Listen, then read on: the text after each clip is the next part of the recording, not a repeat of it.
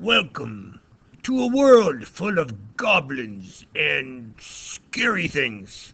Nah, I'm just kidding. Hey, I know. I'm not really telling you the truth. Welcome to a fun-filled day in Math Video Land. Okay, is that more truthful? You know, if I haven't told you this, let me make sure that I'm clear. I love math. Math is happening. Let me go ahead and take care of this here, move this out of the way, do this and do that, and welcome to a slideshow. Uh-oh, it's just kind of weird looking. I don't think it's supposed to look like that. There we go. I was looking for my little thing here, see? So you guys, this is your end of Module 1 Assessment Review Part 1. I know that you knew that because you read it along with me. I bet you did. Hey, welcome. It's been a while for another video. Let me see here. Could I stress enough that this video and the videos to follow will be probably some of the most important kind of content you're going to get because basically just between you and me I'm actually reviewing pretty much the assessment that you're going to face I know this stuff is really really difficult but I know that if you really stay focused and if you really pay attention and come to school on Tuesday remember you have Monday off you will ask some questions about what maybe gave you difficulty so that you guys will do well. Anyway, here's the first question. It says here, it says the following equations involve different quantities and use different operations, yet produce the same result. Use a place value mat and words to explain why this is true. Okay, well, first we need to kind of understand the directions here. So we have two different equations here, as you can see.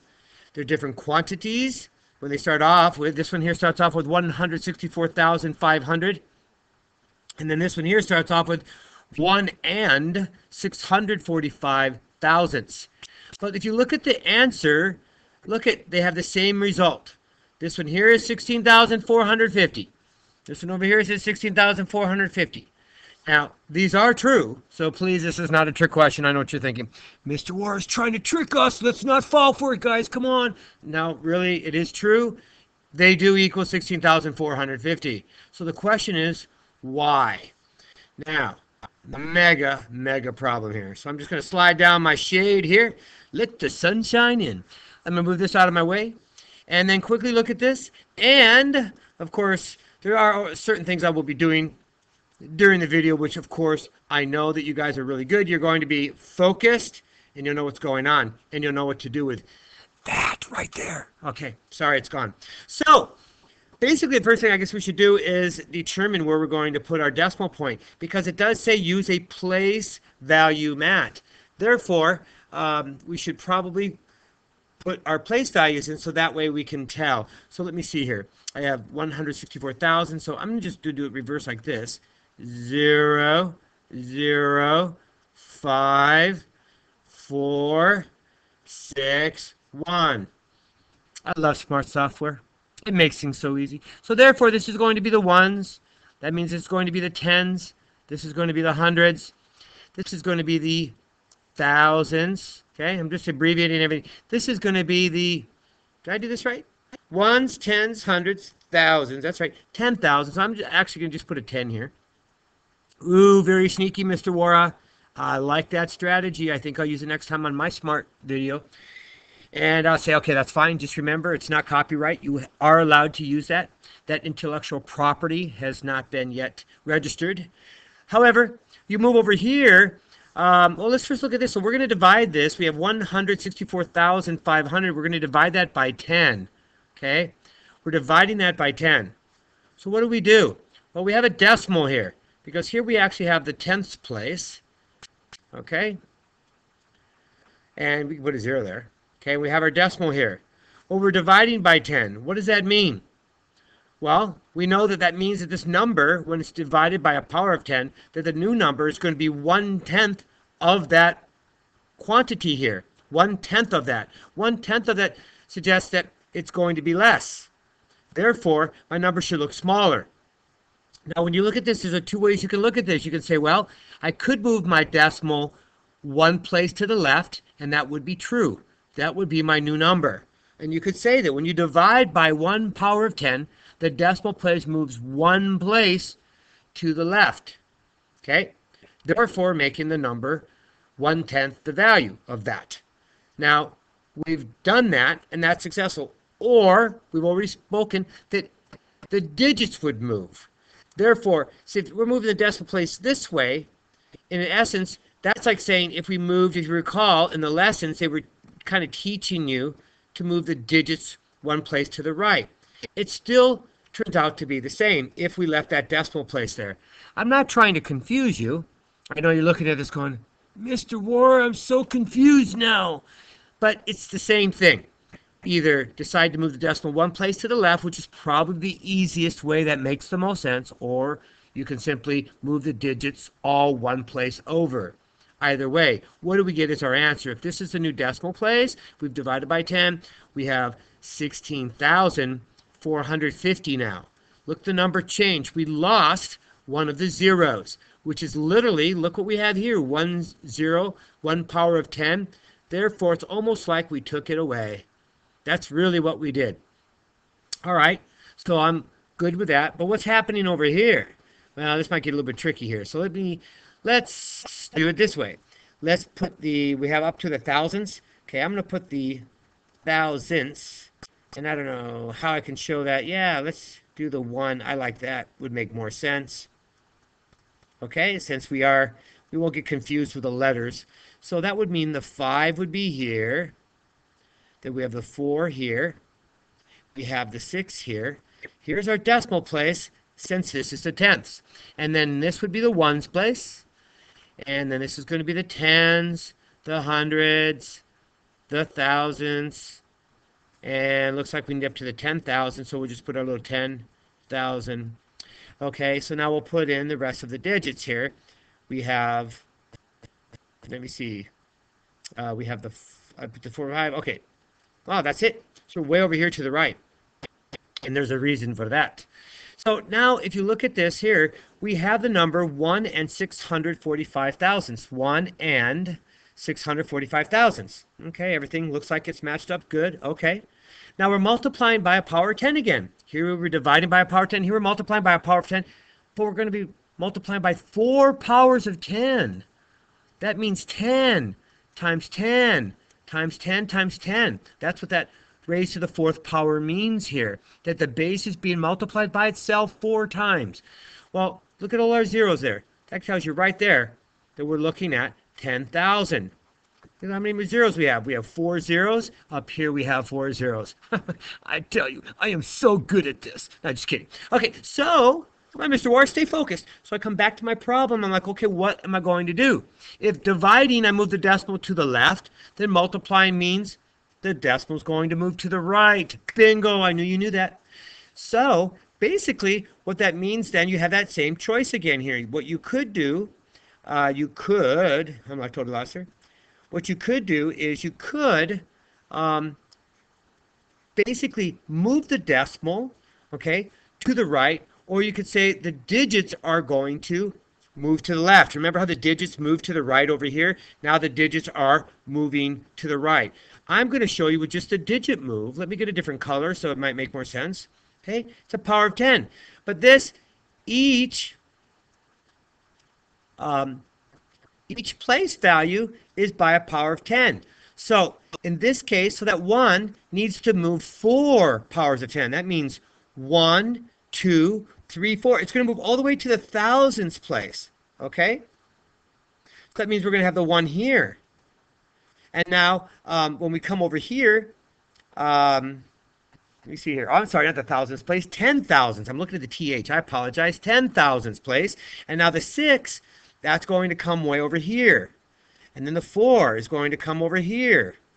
You see what's happening here. And the five is going to come over here. Okay, so now we have our six here, we have our 4 here. We have our 5 here. Now, because we have 10,000, and then this is 1,000, you know, we put in our, our, this is called a period, even though it looks like a comma. It's crazy, but that's called a period. So that we put in our thousands, and then we put our 4, 5. We can't leave nothing there. We have to put a 0 there. And there you go. We're getting the same result, my friends. Oh, I love when things work out. So, now if the decimal had moved, okay, if the decimal had moved, basically, what would have happened? We'd have to move it four times. One, two, three, and that's here. Four.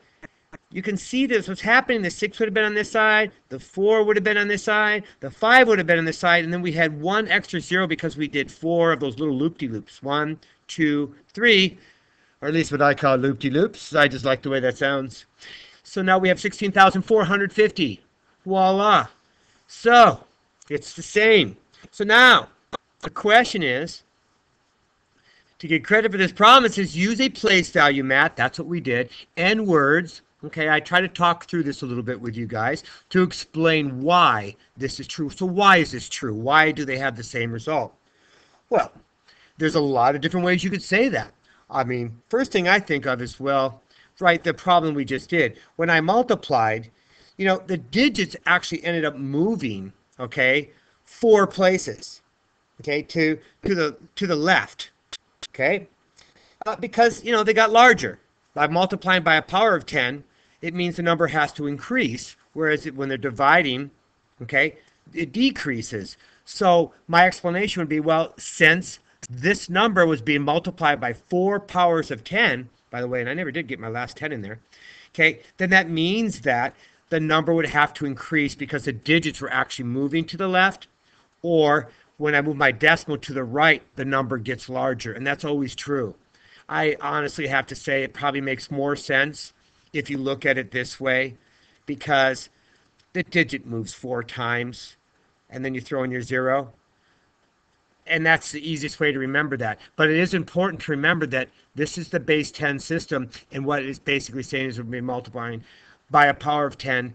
The number is going to increase 10 times. 10 times greater, multiplied by 10. That all means the same thing. So let me go ahead and go to the, the page. So it does say to explain why, so we have to put this into words. So let me go ahead and put this into words. And, um, and I would probably start off by saying that basically um, the easiest way is to, to write it like the simple. So let's just take the simple here and just say, well, basically first thing here. Okay, let's do the division. So when I divided. Okay, so when I divided, basically, um, I'm going to say two ways. The digits, okay, the digits moved to the right. Okay, or in essence, two, you could say the decimal moved to the left. Okay, it's just the opposite. It moved to the left. I'm not trying to confuse you by that, but you know it's important that you understand that's what happened. So if we have that, see, if the decimal is moving to the left, the number's getting smaller. See, you having to put all these, put the right amount in, yes, two zeros in the front. Okay, the number just got smaller. It's not even one whole anymore. There's nothing here. It used to have one in the whole, now it does not. But if you don't move that decimal, then that would mean that the digits move to the right because they're on this side now of the decimal. That's all that means, okay? And that's important. Um, and it moved that way because, well, because it, because the number got smaller, okay? Because the number got smaller. Okay, this tablet's working really well today. I don't know why. Then, so we're going to basically do the opposite. So when, right when I said that, and then it did that. No! Okay, when I multiplied, okay, when I multiplied, the digits moved to the left. You saw that picture. And again, this means that the decimal move to the right. If you do it that way, move to the right. Now, you don't have to write both both things down here. I want you to understand. If you just put when I multiply the digits move to the left, that's correct. And if you say, well, when I multiply the decimal move to the right, that's correct. You know, you choose one or the other. I'm putting in parentheses so that you understand that both ways are correct. And obviously because the number increase.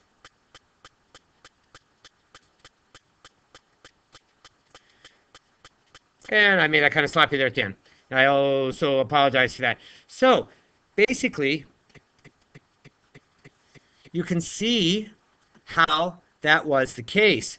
Well, we now we've explained, we explain the power of 10. If you go into more detail, even better. It does say to use a place value, mat. Does say you have to use words to explain. Okay? And so with all this on here, I think we reached our goal, my friends. Woohoo! Yay! Now, I was just going to do the little Tigger sound. Woohoo! Sound like Tigger. Anyway, you have the code word. Make sure it's entered properly if you wish to re receive credit for this video. Now, until end of module one, assessment review part two. I will see you soon. All right. Adios.